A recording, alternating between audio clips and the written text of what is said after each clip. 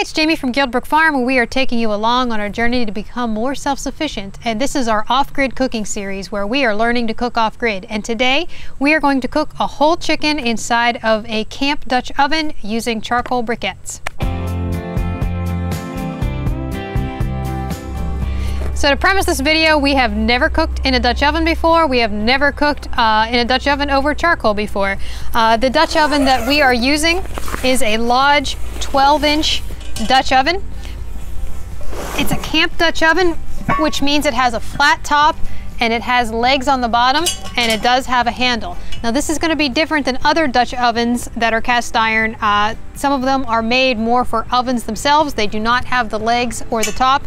Uh, and the reason that these camp ovens are flat on top is to put the charcoal briquettes on top because when you want to cook with charcoal uh, in a camp setting, you're going to want to cook from both the top and the bottom.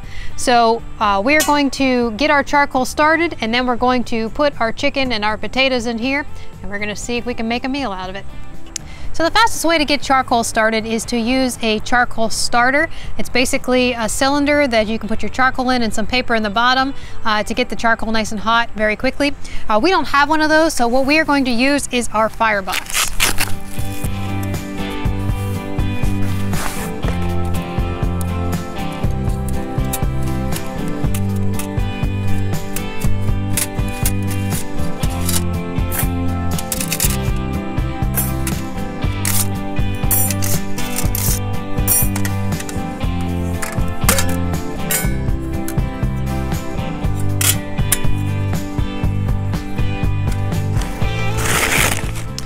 We're to take a piece of paper and we're just going to twist this.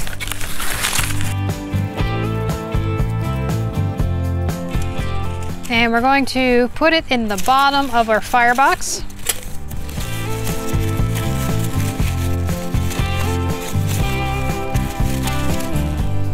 And now we're just going to fill this up with charcoal.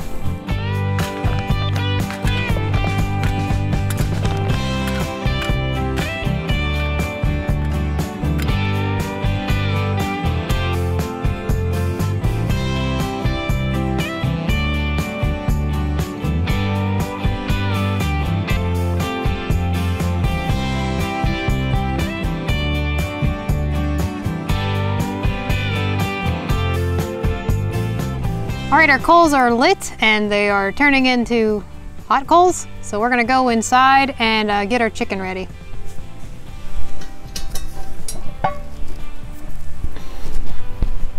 All right, we're just gonna take a few uh, russet potatoes that I have here. We're gonna wash them up and uh, throw them in the bottom of the pot. And then on top of that, we're gonna lay this spatchcock lemon rosemary chicken that I got from Trader Joe's. Yes, I am cheating. For those of you guys that have been following the channel, you guys know that we are in transition to hopefully moving to a new property. So I've been cleaning out the freezer and the refrigerator. So that means buying a lot of stuff like this.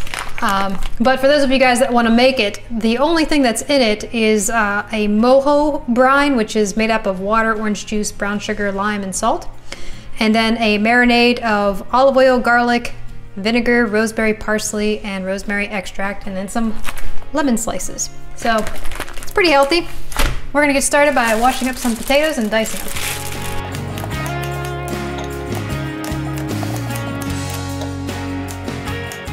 I just wanna know how many people are gonna yell at me for not putting a wet washcloth underneath my cutting board. I never think to do it. All right, now we're gonna coat our potatoes with some lard. Uh, I do have a recipe as to how to make lard if you're interested. Warm it up between my hands.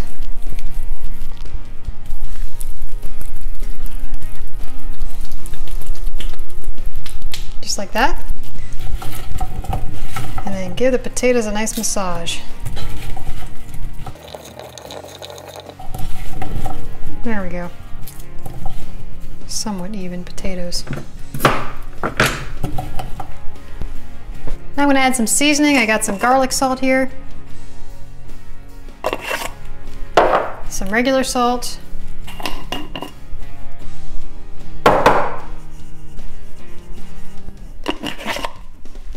and some black pepper.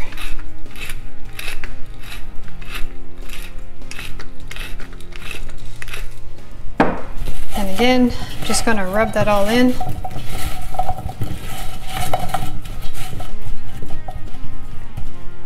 Now I'm gonna take my chicken and lay it on top.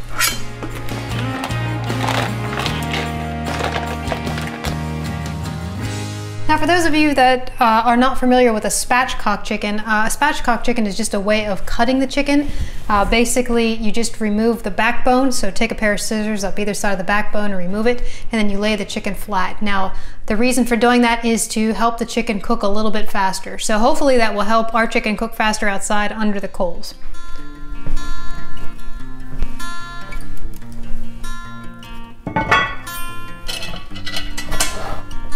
We're gonna dump this out.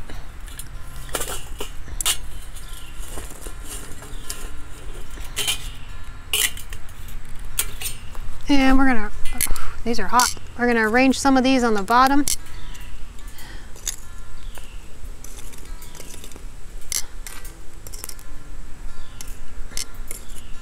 Somewhat evenly.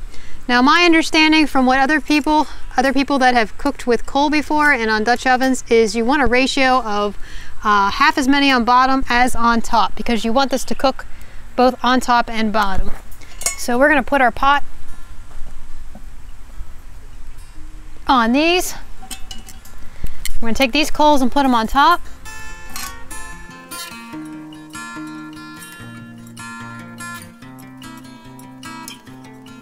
Probably get another batch of coals started and now this is going to need to be rotated about every 15 minutes. So the whole pot's gonna need rotated and we're going to need to rotate the lid.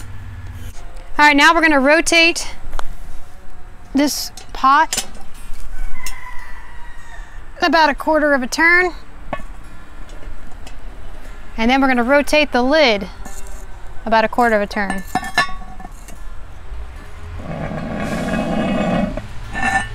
And that prevents hot spots and an even cooking surface, keeps an even cooking surface.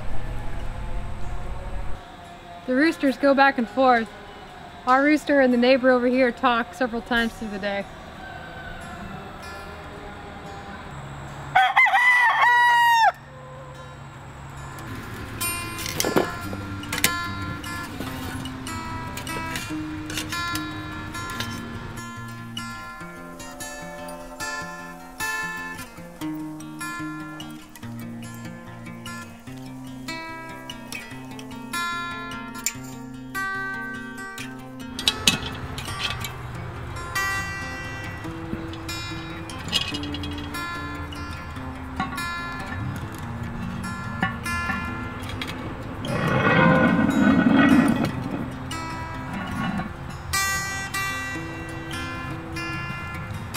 All right, it's been about 30 minutes. Our coals are starting to turn to dust, so we're just gonna check this and see how it's cooking.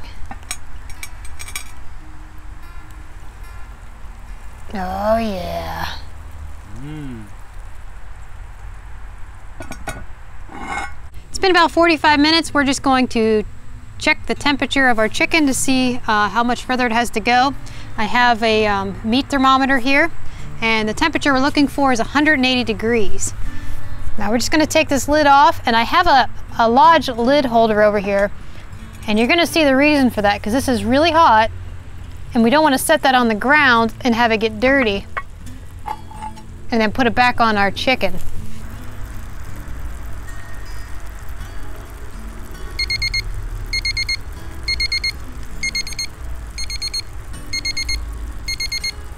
That is done. Cool. And here's our potatoes. They are nice and soft.